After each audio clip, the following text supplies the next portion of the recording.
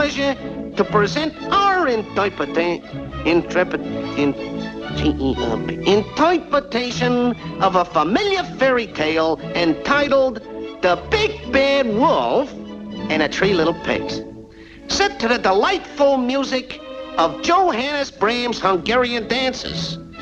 As the scene opens, we find the three little pigs building their respective houses.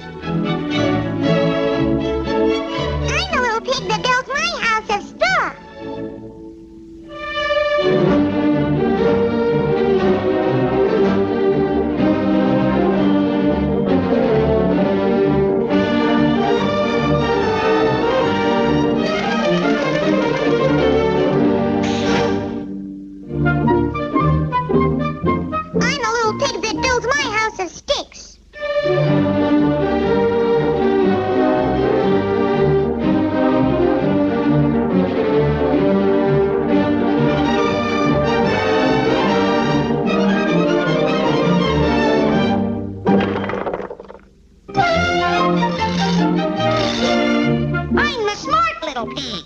I build my house of bricks.